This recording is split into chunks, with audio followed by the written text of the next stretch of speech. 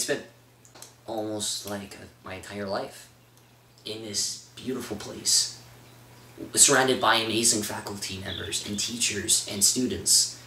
Um, I mean, how do you say goodbye to something like that? I don't know. Like I- I'm, I'm still struggling to say goodbye. I mean, it's already hard enough that you know you're leaving a place that you've grown up in so much, and it makes it even a million times harder when you really can't say a proper goodbye. Fair waters by thy side will stand and always praise thy name and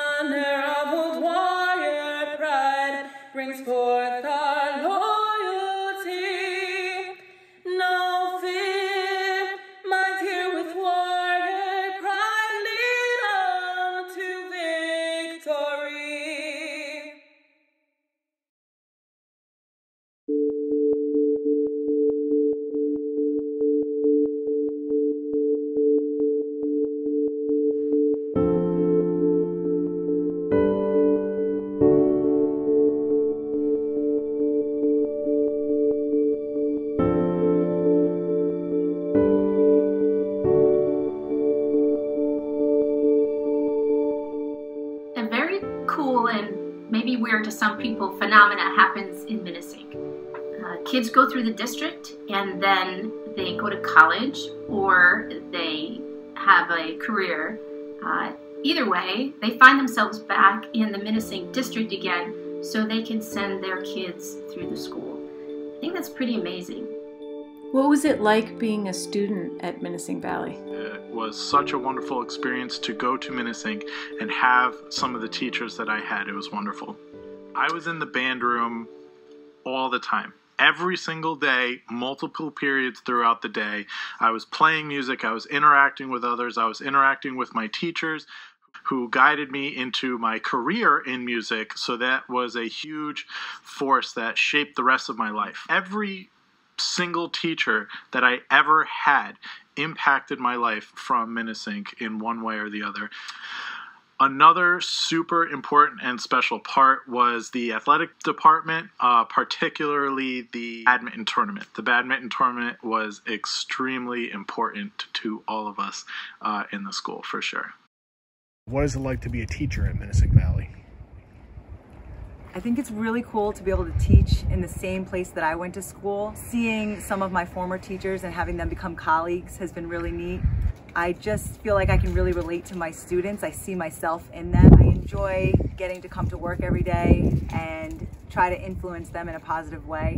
Every morning when you pull onto the main campus in Minisink, it has the most wonderful, beautiful sunrise. And seeing that sunrise always made it really nice. It just reminds me to start each day new and focus on the good and seeing that beautiful sunrise coming over the high school mountains there behind the high school um, just really starts my day off wonderfully. I also remember the friends that I met there, and a lot of those same friends that I have were friends now, and our kids are friends, but we all still keep in touch, and that's something also very special about Minisink is the community and just the lifelong friendships that you make.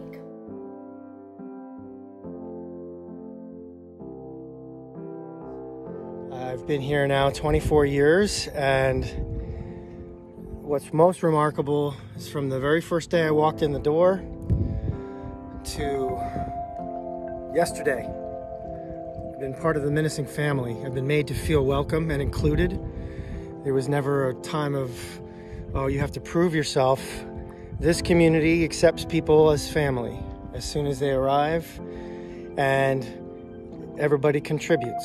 I made these shirts for all the staff several years ago for Spirit Week, and whenever I'm out in the community or at school, it just makes me so happy because Minisink has been my home for 17 years. Uh, I've lived in the community for 15 of those years. I chose to raise my family here, so I'm not just a teacher, I'm also a mom and a community member. What I love about Minisink Valley is the sense of community, the sense of family. I've been part of Minisink since 1996, and it's the one thing that has stood out that we all come together, we all help one another, especially in difficult times. We are one Minisink because we do look out for one another. I love that the people in our district work for the kids. And it doesn't matter whether you live in the district or live out of the district, that the main focus is our children. And that's pretty fantastic.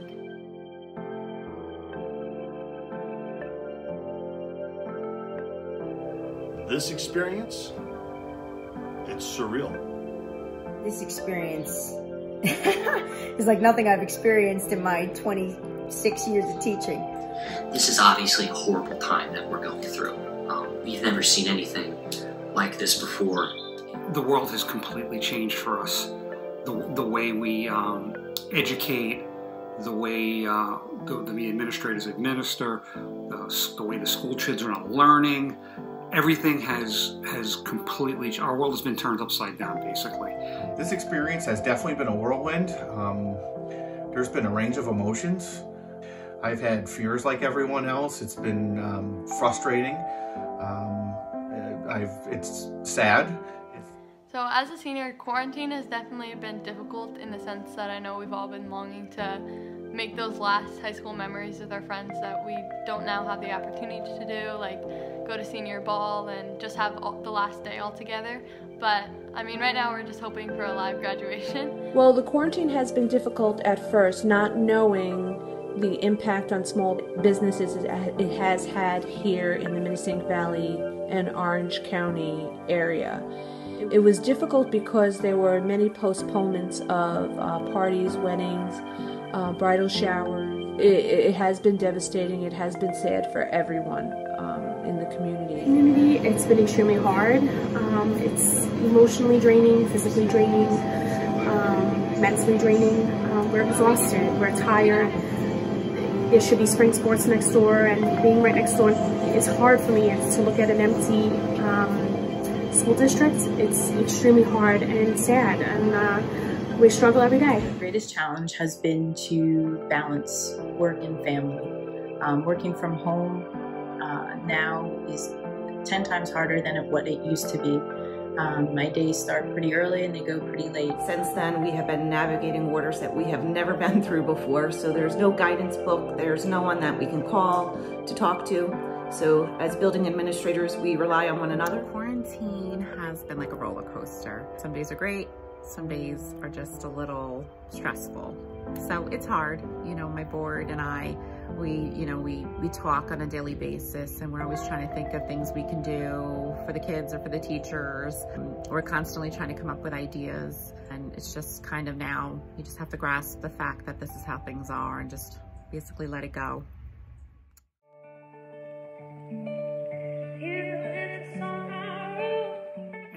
I just want to thank our community for, for rising to the occasion because our, our children are learning.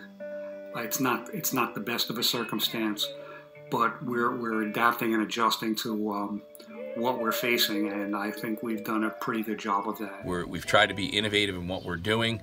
Uh, I, I love the fact that our kids are tenacious and have worked incredibly hard. Our families have been absolutely tenacious as well.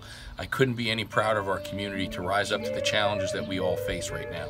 Teachers have been exceptional right from the onset. Without pause, they've reached out to one another, they learned new learning platforms, they learned new technologies, all of which will make us better educators. One thing that I am most proud of is when we started doing Google Meet, all of my teachers really jumped in with both feet. They were very excited to see their kids again. They wanted that FaceTime, they wanted to connect with them. They're available 24-7 basically. They haven't ever really shut down. It's kind of like asking me which one of my kids I love the most. And obviously I can't say that uh, because I love them all the same. What I can tell you is I am extremely proud of um, the many groups that have worked collaboratively to do what they can to help others. I am just proud of the kindness um, that has come along from this situation. The administration has done an awesome job staying in contact with community programs like mine. The superintendent's office and the high school guidance team deserve a special shout out. They've done an incredible job to make sure that scholarships like Minisink Youth Soccer Scholarship can still be offered to graduating seniors this year.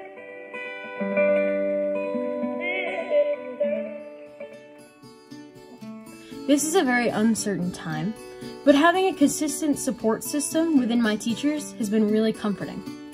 Being at home and getting to spend so much time with my family has been one of the most reassuring aspects of this whole situation. Minisink teachers are amazing.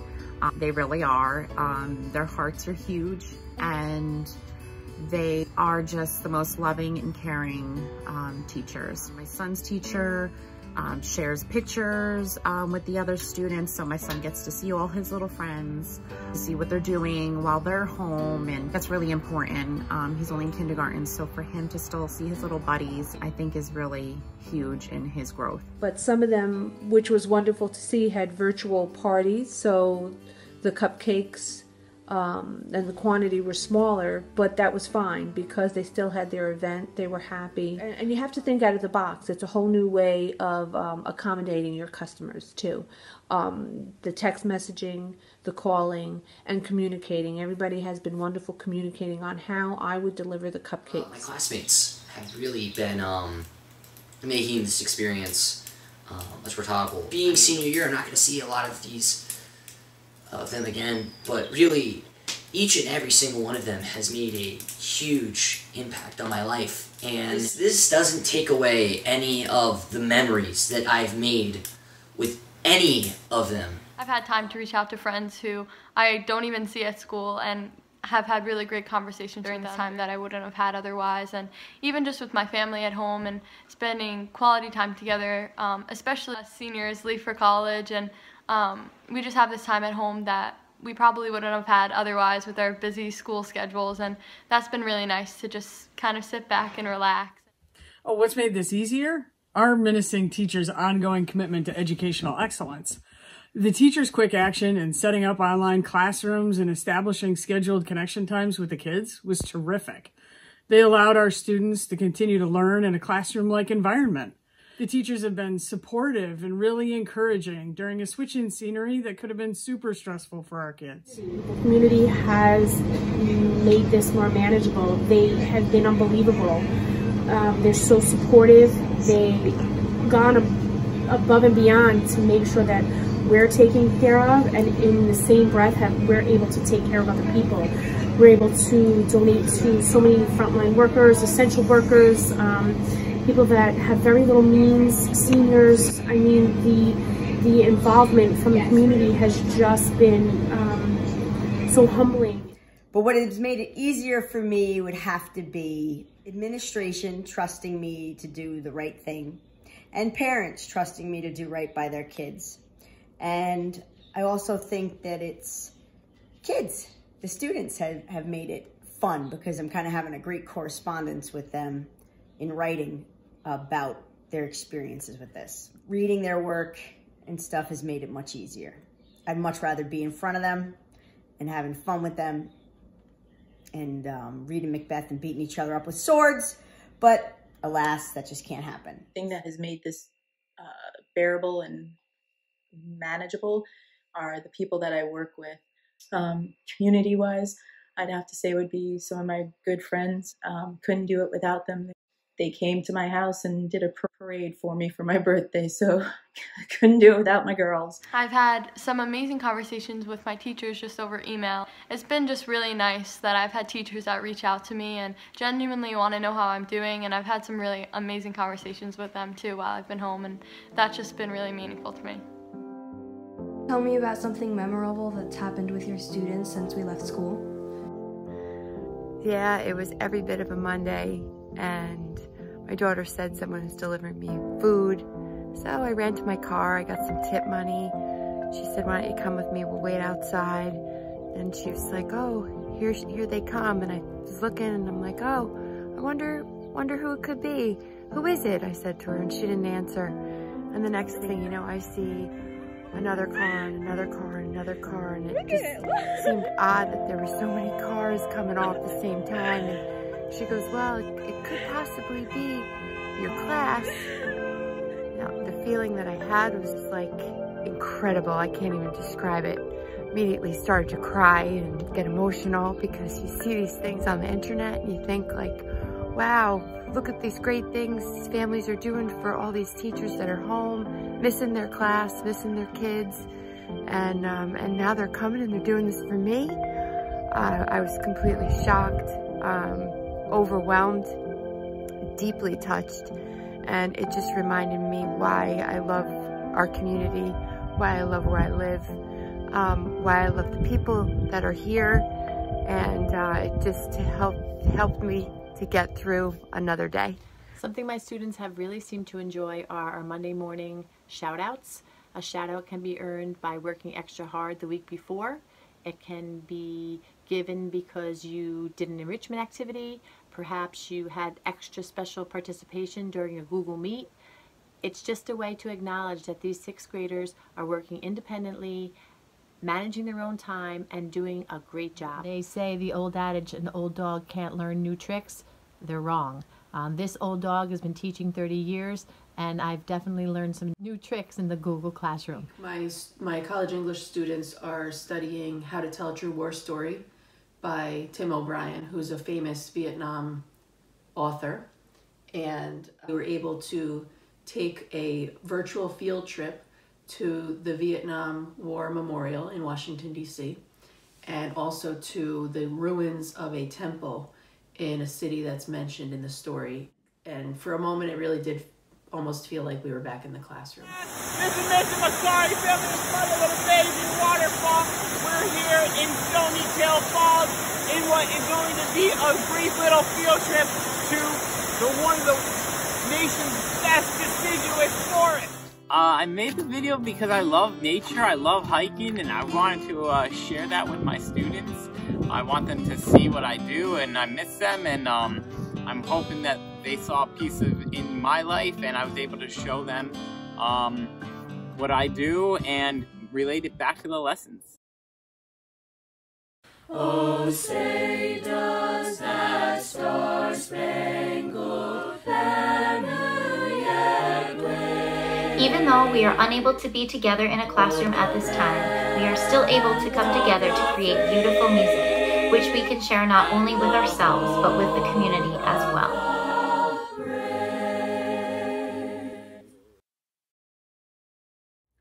As the building and ground administrator, this this has been a very challenging experience. Um, having to redo uh, all the work that we do daily and uh, go back in and sanitize the buildings has been very challenging. They've worked very hard and they've been very, very accommodating to anything and any need that we've had.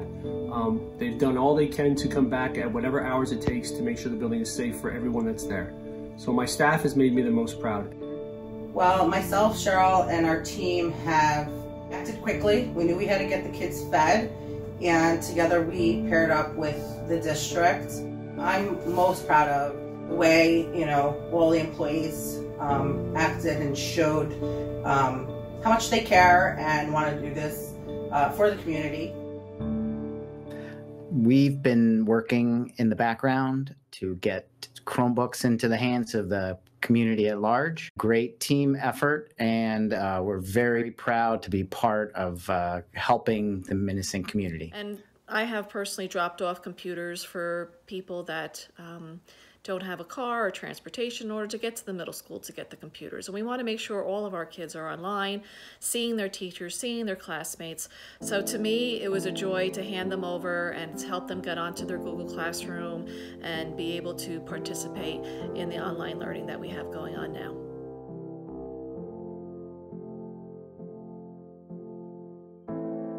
Just the kind gestures I've seen from neighbors and friends asking if people need things, dropping things off at, on front porches because a family couldn't get to a store or couldn't find something. It's been difficult to hear stories of people that I know that have been um, suffering through this, whether it's people that I know that are first responders or have been sick themselves. It's definitely a time where there are so many people hurting and um, everyone is in my thoughts and prayers.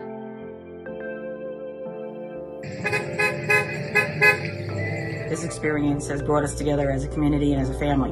We've had members of the community, when we've dropped off meals, the children are in the windows, they're cheering for the drivers. They're so excited to see everybody. They've made trinkets, masks, presents, cards, posters, left them in mailboxes, hung them on their, their porches, hung them on their fences. But it has brought us back together and bonded us and shown us what's really important. And this has truly, I think, brought the Minisink family closer together.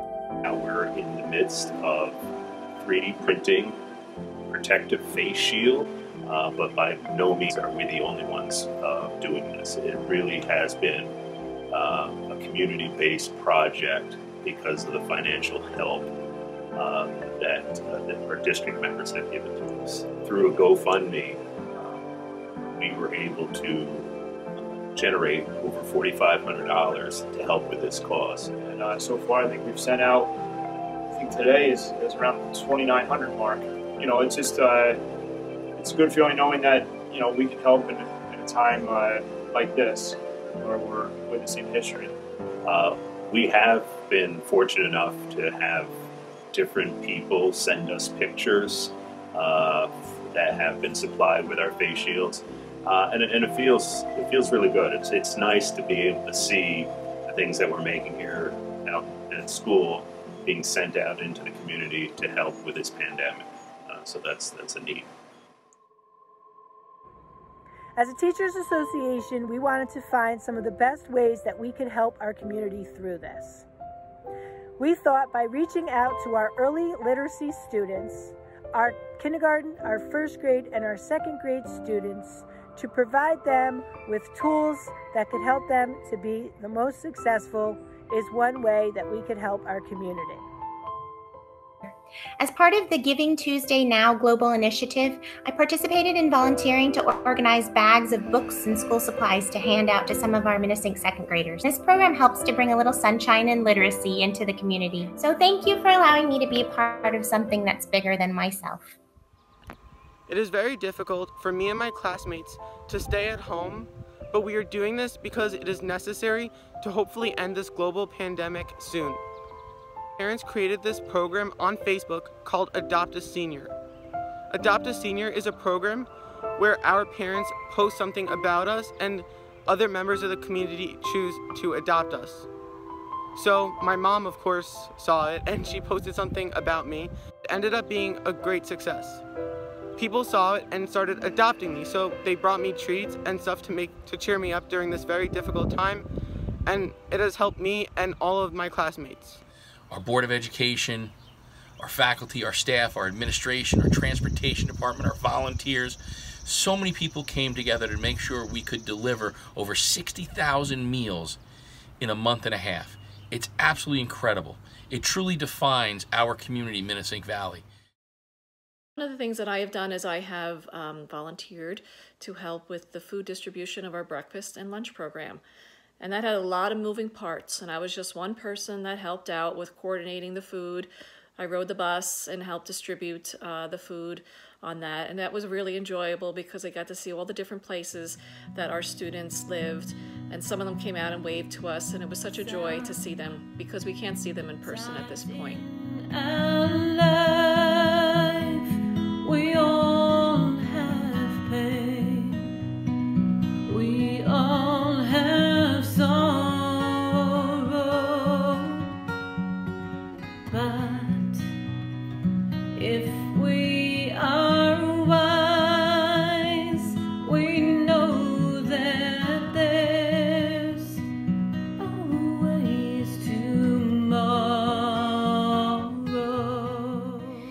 Just take that hour or take that minute or sometimes just take that second as it comes and do your best with what you have. And I hope to um, see you all again soon. We are going to get through this because we are braver than we believe, we are stronger than we seem, and we are blessed beyond measure. Because we have a collective goal. Trusting, helping, and supporting each other's needs during this very difficult time will get us through this. There are a lot of naysayers in the world, but we don't have a lot of them here. And um, it's a blessing. It's a really a blessing to, to be part of this community. And I want to thank everybody from the bottom of my heart. You know, together we are going to get through this, and together we'll overcome it. Nobody is in this alone, and we're all going to get through this together. Um, I'm very proud to be working in this district, and I can't say enough about it. And I just encourage our community to find purpose in the midst of it. Even though it's a chaotic and crazy time, try to find purpose and meaning in even the small and little things.